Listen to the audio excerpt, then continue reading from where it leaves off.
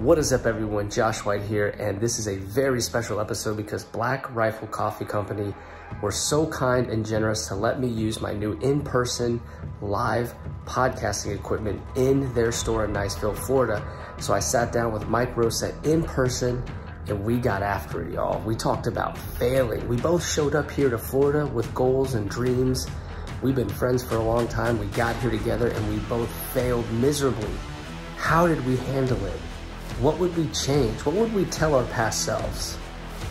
You're gonna learn a lot about failing and how to handle it appropriately and how not to handle it on this live episode at Black Rifle Coffee Company. Hopefully we have more episodes like this going forward to learn all about these local veterans that we have that we can highlight at Black Rifle Coffee Company. It's gonna be a blast. I can't wait. I'm super excited about this. Watch it on the Spotify app because I actually post the entire video, the live video in its entirety. You could also find it on YouTube. All right, let's get after it.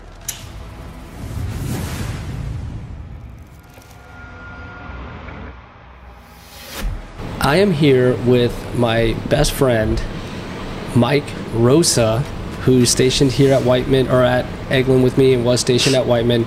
And he's kind of a local celebrity. So, everybody, if you No, could just give him a round of applause. Thank you. Thank you, everybody. That's enough. That's enough. I didn't tell you about that, did I? No. I should have. I should have been prepared though for that. But yeah, I, I, this could sound like hot garbage for all I know. I have no idea. You'll see soon enough. Yeah. All right, man. So we're here. We've got the whole coffee store to ourselves. Right. We're talking. We're in person. We haven't seen each other in a while. First topic, I think, should be failure. Mm.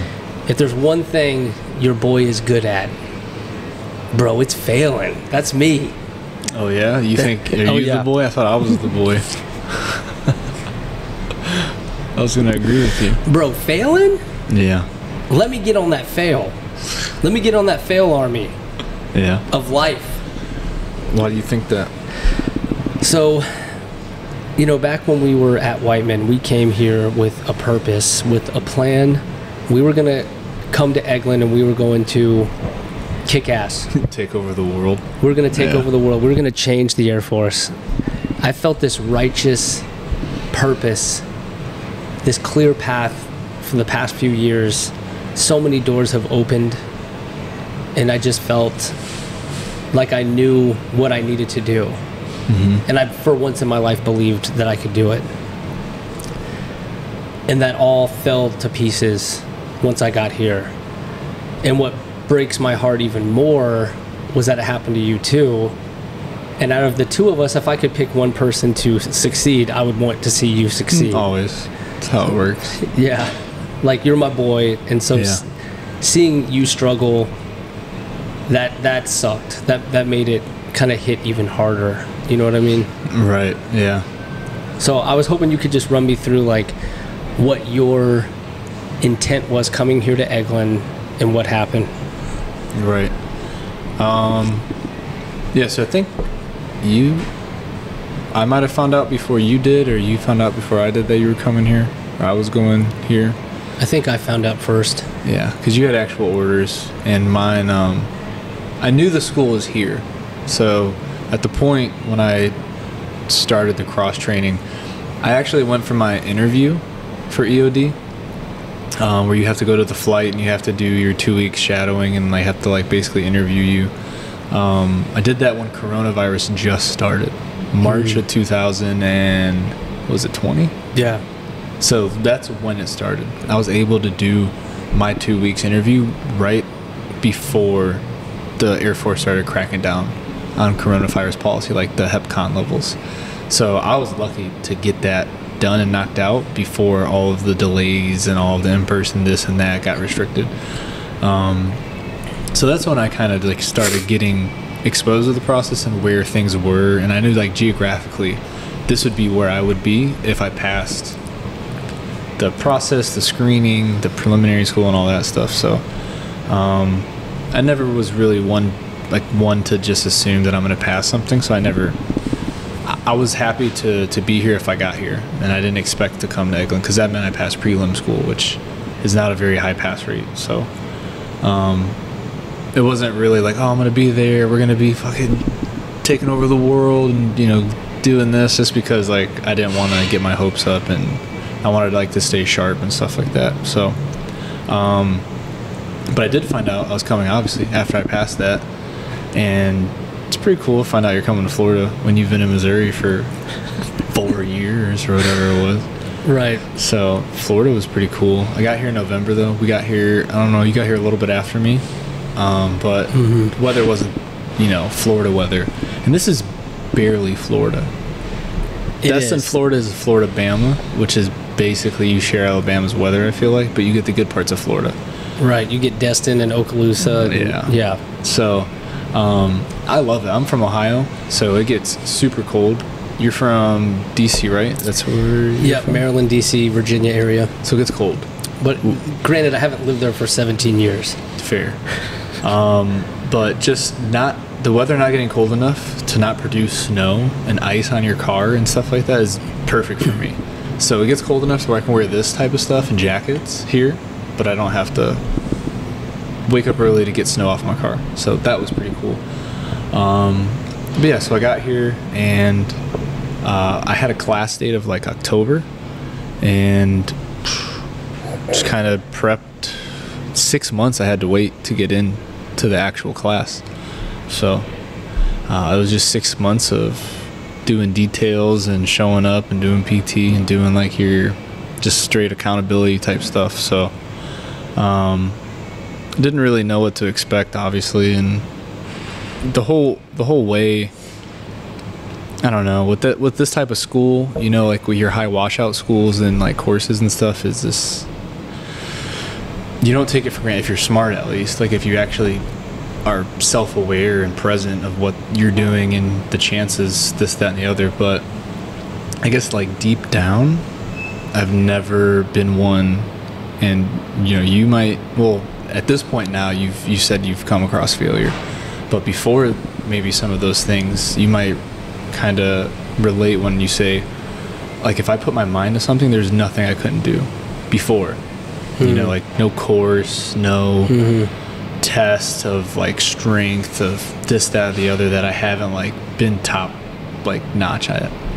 Um so there was really nothing for me to assume otherwise that i wasn't going to be at least top notch. Like i just passed the prelim course which was really tough. That was like 27 people only nine of us went through you know and i was one of the nine. It's just like it's in my storyline for me to always make it up until this point Yeah. so that that that was there, but I also knew that I could show up one day and you know mess up something and then fail just like everybody else could fail.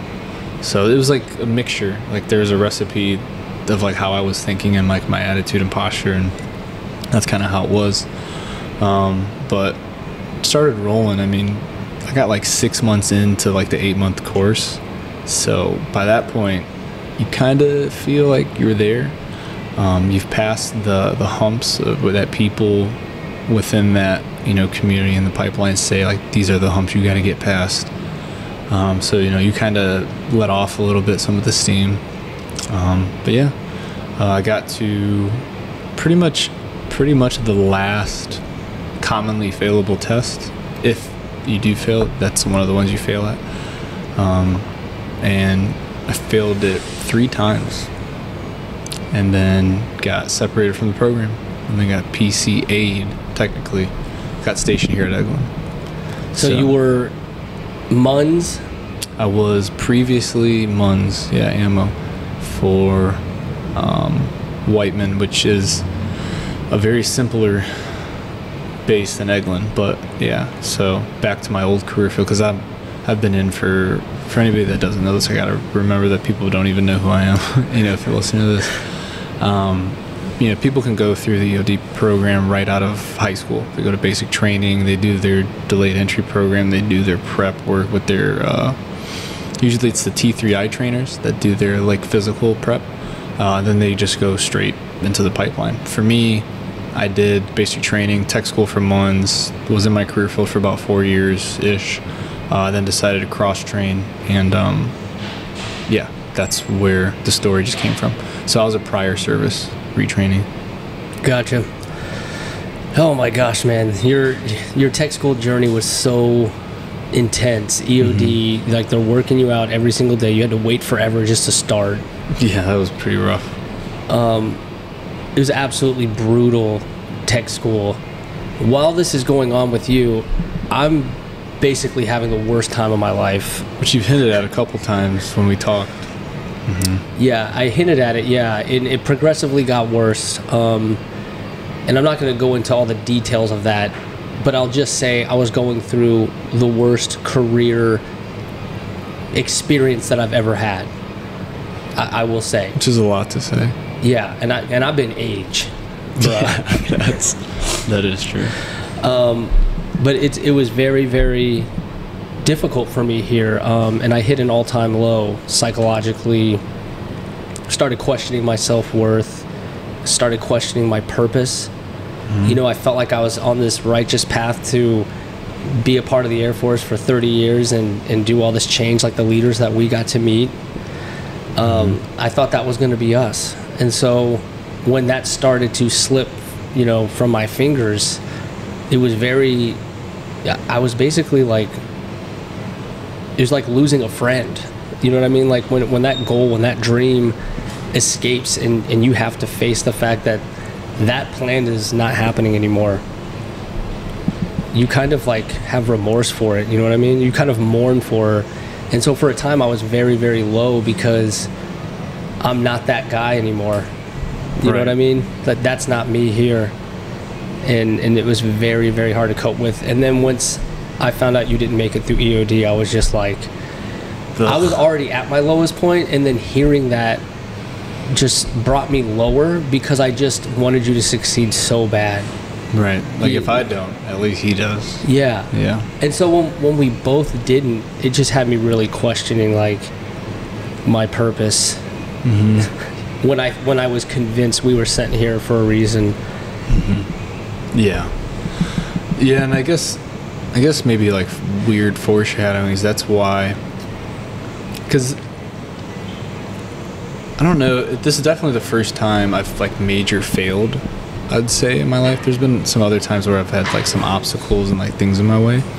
Um, but I've never been a fan of like expecting something or like preparing for something that just kind of like happened you know i've had some rough like years with my like parents so like my dad was never in my life and like came in and out like randomly and like that kind of taught me at a very like, early age um, to just not expect because i just expected like when they said something or they said they were going to do something like my dad would just show up and do this that and the other um, and then like just poof and be gone you know what i mean so like from then on, I noticed, like just being self-aware of some things.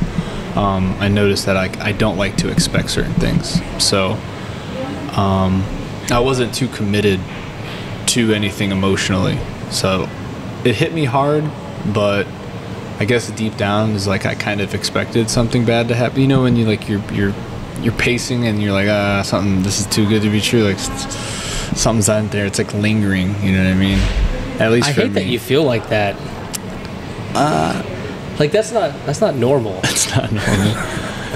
I'm just always cautious. I want to make sure that I'm not like blindsided, at least. You know, like I always like to be prepared um, for you know for some things to happen because I feel like when all the bad things happen, it's when you least expect them or you weren't prepared for that to happen. You know what I mean? Like something happens and you're like, oh my god, I had no idea that that was even an option of happening. So I like to try and like be super aware and just know all the possible options, even if they're if they're not in my favor. Gotcha. Um, but as far as like the purpose goes, it's funny because towards the last month that I was at the school, I was thinking in my head like, you know, it's very at that point you've seen so many people that are like super sharp, like army lieutenants, uh, freaking 12 year army, you know, staff sergeants like go through this course, Marines that are like super sharp, fail out, and they just get dropped, and you're just like, like I'm not I'm not any better than that person. Like if anything, they're probably way more sharp than I am. You know what I mean? So like yeah. you don't take it for granted that you're there, and you know damn well that that could be you. So you're kind of postured towards like, if I get like, you just think through it, and you know, I'm like, well, what if it does happen? Like, what if I do get dropped? You know, like, how will I feel? You know, because like right now, I'm super committed to pursuing this journey that I have set like in front of me, and I just thought it was funny that I was like, hmm, it's. I was like, maybe it's not healthy that I'm like I'm basing my own mental health and self worth off of me making it in the EOD because I was like, if I'm not happy, right, and I make EOD, like, what does that do for me? You know what I mean? Okay, I'm EOD now.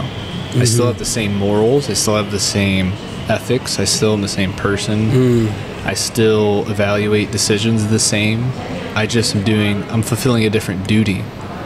You know, so maybe it's not like maybe it's not as much as I joked myself or I, you know, made it out to be something that maybe it's not. Because, you know, you're always chasing something. Like, there's something somebody's always chasing in their life. And sometimes you just got to ask yourself, like, okay, what if I get it? What if I got what I think that I really want tomorrow? Then what? Like, what does it really do for you? I think uh, we get we often get caught up in titles or accomplishments as benchmarks. Th- uh, at least for me. Yeah. So for a time, like I was going for for master sergeant because I felt like if I could make master sergeant, then that would mean I'm good. Like, it's, it does something. Right. Like that's validation to me Right. that That's a good word. That's what I was looking for. that I don't suck. Mm-hmm. And in reality, it, it should not take that. Right. You know what I mean? I mean, it's o- it's okay to want those things, and you could use them. It's a, it's a, the difference. It's like uh you know it's ingredients. You know what I mean? It, it can be a part of the ingredients, but it shouldn't be the whole, the only ingredient. You know, Right. and I think that's when it becomes unhealthy. Is when we invest too much of our self worth and self image in things that we think you know, are going to give us that. You know. Yeah. That, if there's one thing I learned from falling flat on my face here, would be I put all my eggs in one basket. Right. and that is not good. Um, I, I didn't have a plan B. I just had plan A. Kick ass, change change the Air Force, change the world, Right. and just do as much good as I can. I never considered any other option, and so I failed with that with that mindset, and I also failed with just caring too much what people thought. I mean, really, I I, I, I kind of showed up vulnerable and worried and self-conscious and so that you know when i was met with criticism and toxicity i was already vulnerable and i, I got really tied up Probably did you let it eat at you? You think? yeah I, I got really tied up with like my identity what i'm capable of my worth i started questioning it and i started caring way too once you start once you get in that rabbit hole of like people pleasing and trying and like really caring what everyone's thinking you just make it 10 times worse Right. you know, and I, I think I got caught in that cycle pretty much right out the gate. Um, and so th- those are the two things that I think if I could go back, it would be to not care as much. Yeah, that's a good. Let me ask you: if you were to coach yourself before you leave Eglin, you know, you probably wouldn't tell yourself. I don't know. It's like if you have a like a like a child that has the same dream as you. You don't want to tell them to not have that dream. Like that's not going to solve it. right. Because maybe 20 years from now, maybe you needed to learn what you learned. Yeah. You know, like not experiencing the whole situation might not be a complete pro. You know, so but what would you, I don't know, coach yourself or like tell yourself now, know what you know before you left for Eglin? Would and would you Well, the first thing I would say is don't go. really? I would say find a, find a way to not go. really? Uh, yes, for sure. Um, but let's just say that's not on the table and I have to go. So if that's the case, um, I would say be confident in who you are and what you're capable of, even when you're attacked. Right. You're because you're going to be attacked, especially when you're putting yourself out there.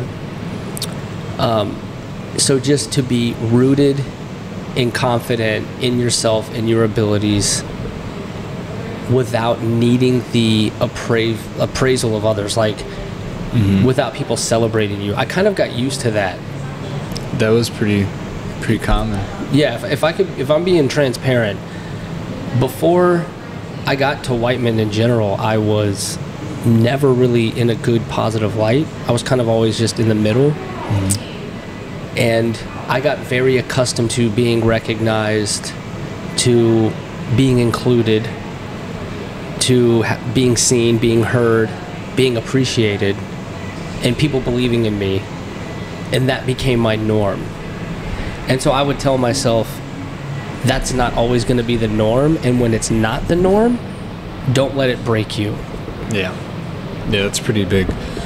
And that, I mean, I guess that's the same for me because at the time, I mean, I'm pretty new to the military, so the honor guard thing and all that stuff we were doing, the high vis stuff. And I mean, Chief was this, like, Chief Timmerman, you know, she was super, and there were just a lot of positive people in our corner, I think. You know what I mm-hmm. mean? that was a really good team. just people that wanted to see you do well and you know what i noticed about eod and what solidified that one of the things i don't know if, like the words i'm looking for are the best words that kind of suit what i'm feeling but what validated like why i wanted to go to that career field was none of the people that i met along the way the tech sergeants that have been in for 16 years that have deployed to Afghanistan and Iraq and like all of these really like shitty times like when when the IED like the war on IEDs and like counter IED mission like all that was happening mm-hmm. like they were in that right? So if anybody has the room or the credentials to to shit talk somebody or to to I don't know put their you know credentials against somebody else right? It's them mm-hmm. but none of that. Like they were the most humble people they just you know I'd ask them questions. Coming from somebody like me like I was just a muns dude you know in their work center asking them questions assuming that I'm gonna be one of them you know and you would think the territorial part of them would come out and be like well who is this dude? You know you're not one of us you won't be one of us probably you know what I mean? Like you would expect to at least see that or sense that. Um, there was none of it. It was literally only people trying to give me advice that they wish they would have known to, to give me a better chance to make it. Like they they in their eyes they respect what they were doing and they had open arms to anybody who wanted to come into what they were doing and help it be a good member in addition to it to help the community like anything. So like leaders like that i think for whatever reason whiteman adam they were around um, and yeah i guess we got a little too accustomed to that feeling So, what do you think it comes from when, like, you're in an organization where that's not a priority? I mean, they might say it is, right, but they're not actually acting on it. um, as far as like a like a, Like, investing in people right to, you know, make things better in the long run. Um, I think I was I was having a conversation about this. Um, I don't know. See, I have a lot of beliefs, um, and one is I definitely believe in people. I don't. I don't really think people are bad, you know, because a lot of people will just say it's the leaders, right?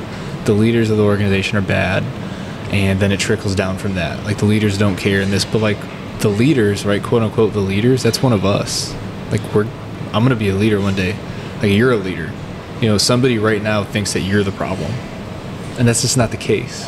You know what I mean? Like, I don't know exactly what happens. Um, you know, from what I see, as far as the places that I've been in, um, it seems like there's just a bunch of, of faith lost, right? Because people come in with the drive, and I see this with uh, the airmen I just got. Like, because now I have three airmen under me, senior airmen, and I, I'm getting to a work center where I see, you know, some of the morale not be where I think it, it should be and it could be.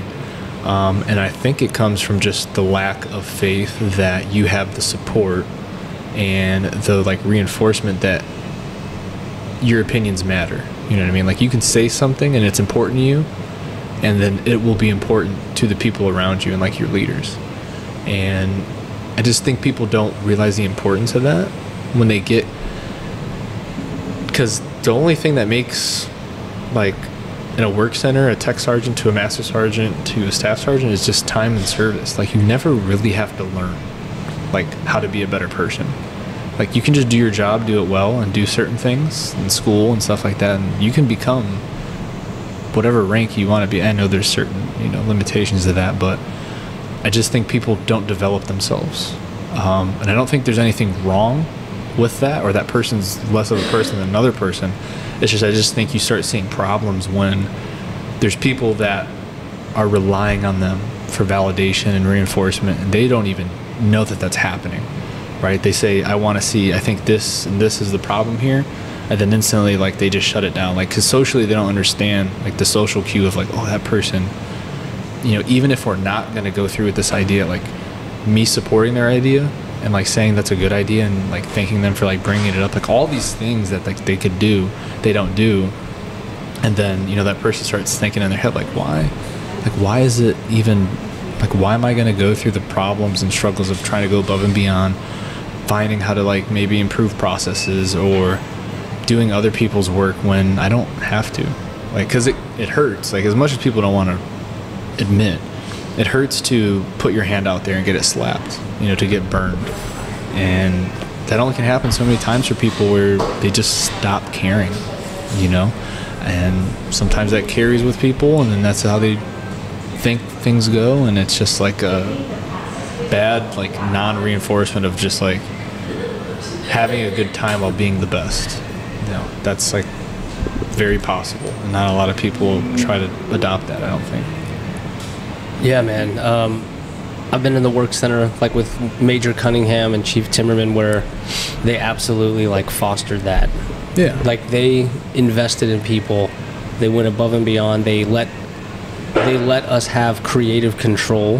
Mm-hmm which I thought was huge. So they, they were a little they were risk takers in a way, because not many people relinquish that kind of creative control. They no. say, "Hey, these are your lanes, and that's it." And then we said, "Well, what about like what if we shifted that lane or, or went outside the lane?" Mm-hmm. And they'd say, "Well, you know, sell it to me," and I would, and they'd say, "Let's do it." And that's that's kind of rare. I think that's very rare. I think I think it takes a a very it takes a person that has no insecurities to have somebody not of their rank, right, not of their authority come up to them and present them with an idea that's not theirs that would now dictate how things go for them to be like, okay, I'll listen to it, and not only will I listen to it, I'll accept it if it makes sense, rather than that's not my idea, and so I don't want it. You know what I mean? Yeah. And maybe, like I said, people don't grow as a as a person and they're at that point where they need to establish the dominance to make themselves feel a certain way. So that means any idea that's not mine is not going to go. so right. I think we got, you know, we were shown the type of people that have nothing to prove to anybody. You know, they know, they know who they are. They they know that people have good ideas, and they know that if we present them an idea, right, to change something, it's not in the in the sense that we don't like their idea. We just have a sense that like this could be better. Mm. You know, it's like listening to the wrong message. Mm-hmm. It's like listen to the message of I'm here to help rather than your way sucks. And we kind of ran into that your way sucks with another scenario. Uh-oh. Actually, now that you mention it, if you remember, we were looking to fix like we were on a roll. We were looking to fix yeah, anything anything whatever. that we came in, in touch with. yeah. We were going to make it better, and so we just took the greenbelt training, right. and we wanted we needed a project to work on, yeah. And everyone unanimously hated AADD. Mm. Right. Right. So basically, it's this alcohol, like this drunk driving Airman prevention. drunk driving. Yeah, it's a it's a drunk driving prevention where if I'm drinking and let's say my plans fall through and I'm faced with driving home or walking, etc., I could call this number and there's someone on standby who would come and pick me up to prevent me from drinking and driving. Mm-hmm. and unanimously across the base, it was not doing great for some reason. I don't- DUIs were spiking. high. Right. We we were. It was a major problem. Well, just to give the setting, it's in Missouri, in the middle of nowhere. And 10 minutes away is a strip of bars. It's about the highlight of what you had to do. So, with context, I mean, And there's only so many roads. Like the cops. there's only so many. Yeah. Like if you do it, you have a high chance of getting caught there. Um, So no, there were contributing factors, but Yeah, so but that's a that's a good example of like when we had all these good ideas and we brought it to the officer that was in charge of the program and without even hearing us shut it down. Right. In a sense of just like very defensive. Like like uh, that person felt that it was more of an attack on how inadequate she was doing at her job rather than hey we noticed that this is an important like program and we want to try to improve it. Like two different things right? She didn't see it as that. She saw it as they think that i've been doing my job right as the the leader of this program poorly and that this is why i suck that's basically what she what she thought She saw it as an attack. super super defensive you know and i was like dang Like so defensive that it was like very clear that we needed to stop yeah coming to Just her wasn't, yeah. with ideas. just wasn't yeah it wasn't going So anywhere so that's a good example of the opposite end of the spectrum, right? yeah when someone here when you come to them with just pure intention of making something better Mm-hmm. and they take it as an attack right on It's how crazy. on how they've been doing something yeah and I forgot i had a had something on the top of my head but but basically because it goes it goes both ways with that.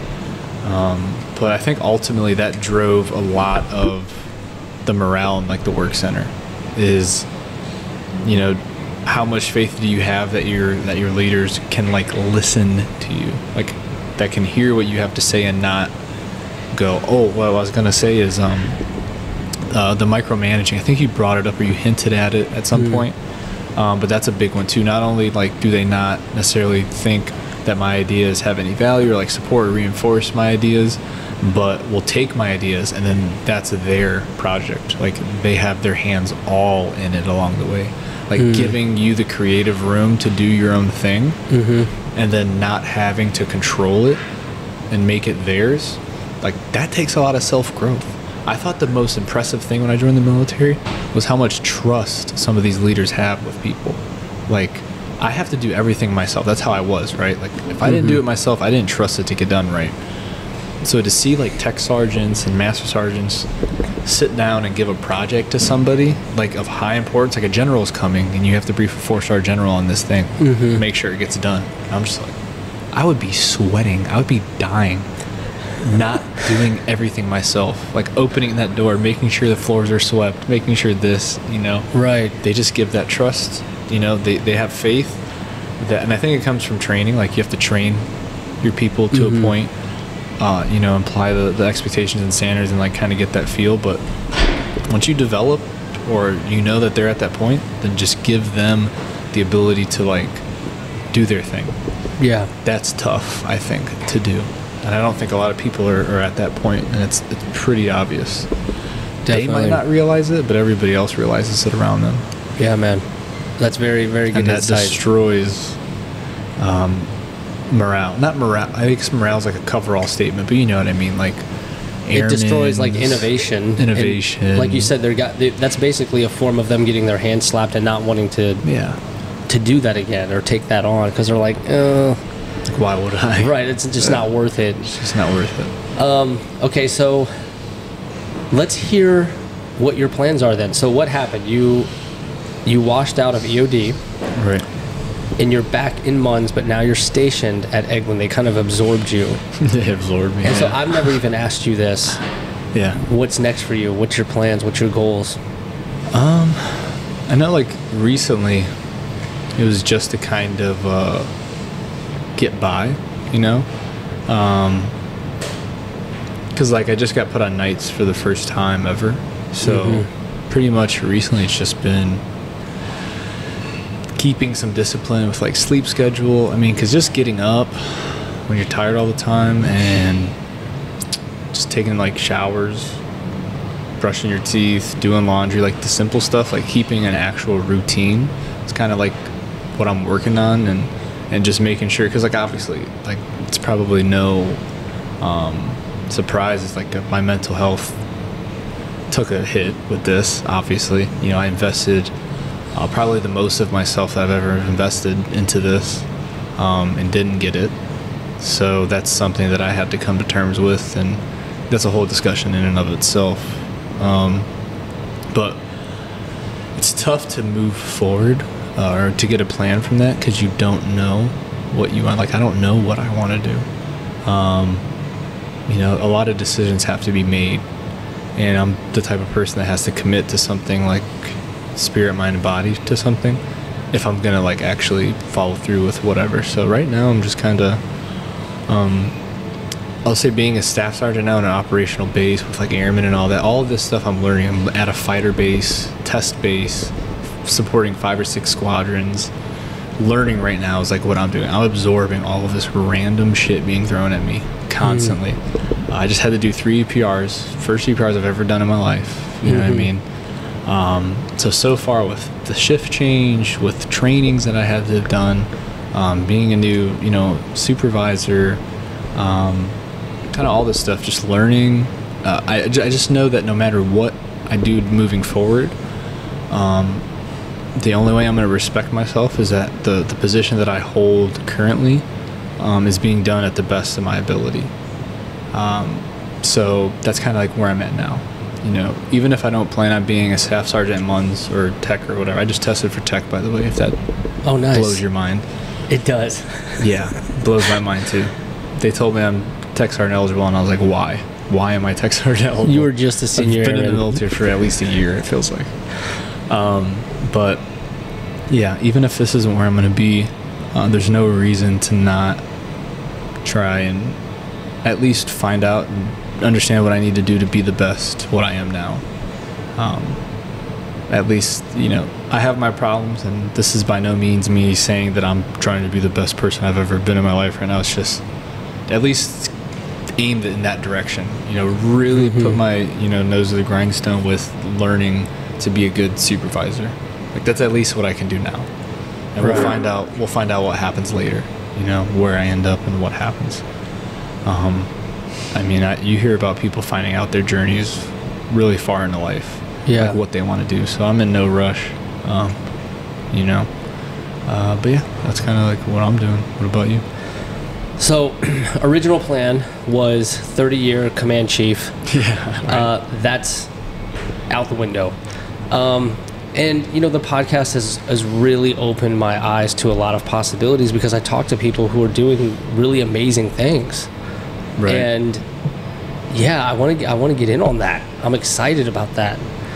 And so where it really hit me was that, that I'll probably retire at 20. When the moment that that hit me was when I applied um, for a special duty here while here at Eglin, and it didn't, and I didn't get picked.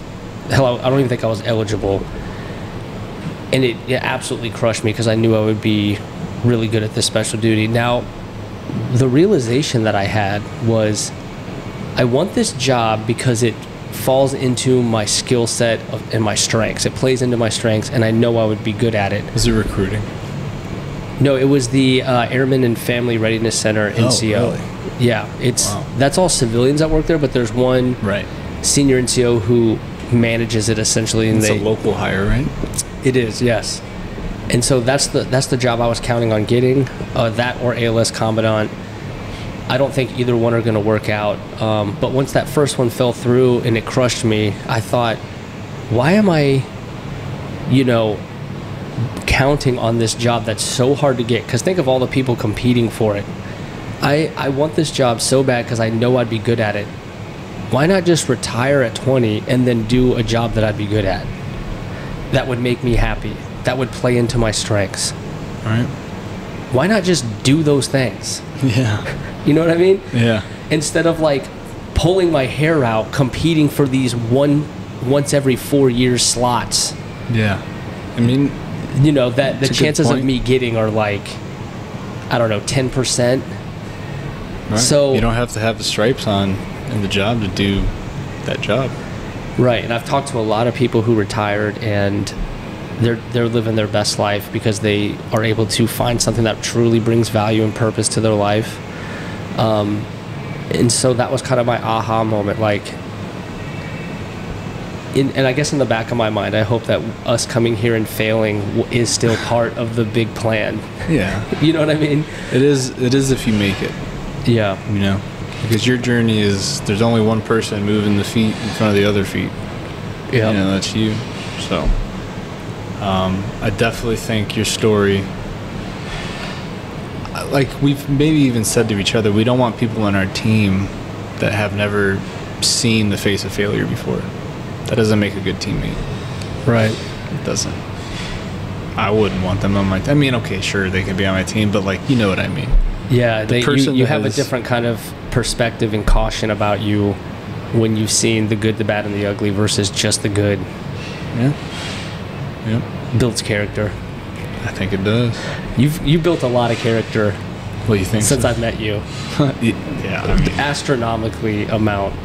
Oh my gosh, you've come so far. me and my mom joke about it because it just seems like I just I can't I can't just be that person that just kind of moseys along like life and just like wiggles around and just does their thing. Like I just have to get this thrown at me and that thrown at me and this, and I'm just like, oh my god, just got to deal with it. You know what I mean? Yeah. But you know, I'm glad it's me and not somebody else. You know, because I think one of the gifts my mom gave me was to to be very self-aware and to be able to process these things. And she's really smart with that stuff. So i talk to her all the time. I have a good relationship with my mom so and, I, and i'm thankful for that because being able to talk to somebody that actually gets you and cares for you that's Mhm. helped me a lot through all these things.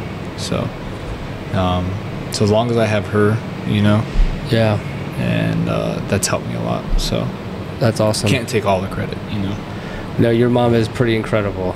Yeah I've met her a few times now, and she is just a very special person. she said hi by the way Oh, awesome. and Angie said hi, by the way. okay So, all right, man, we're going to wrap it up here because Black Rifle is about to close, uh, and they definitely don't want us here after No. 9 p.m.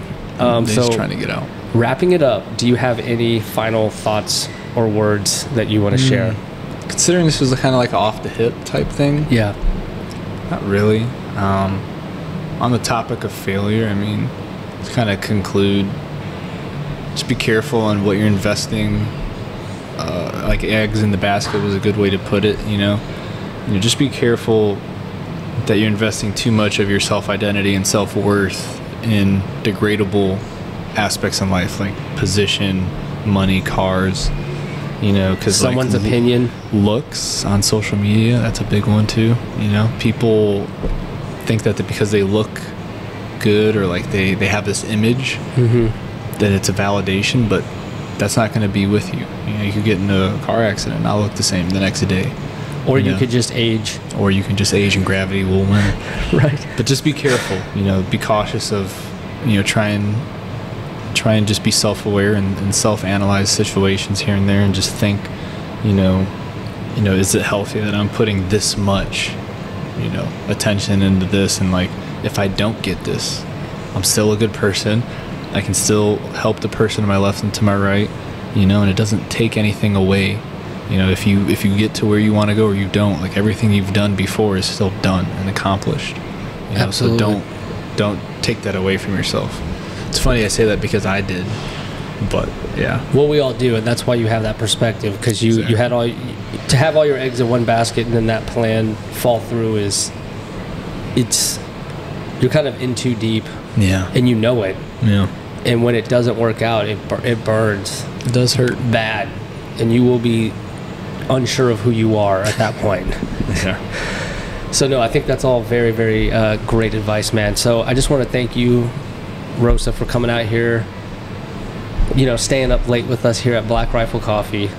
Um, absolutely This is really cool. This is the first in-person interview that I've done myself for my own brand. So That's pretty to do it with you and at Black Rifle, you're my brother for life, man. I'm very proud of you um, for not giving up.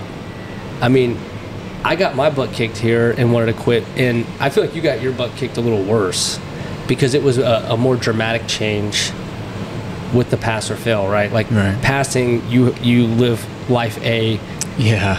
failing, you live life B. It's a very dramatic Right. difference, right? And so, I think you handled it not perfect, obviously, but I, I'm proud of you of how you handled it. That you got here, you're still trying to help people, you're still trying to make a difference, you still care, Right. and I definitely admire that about you. And I'm proud of you, man. Thank you so much for hanging out with us tonight. Absolutely. All right, y'all. Well, we're cutting out of here before we get kicked out. Cheers. Cheers. All right, see you.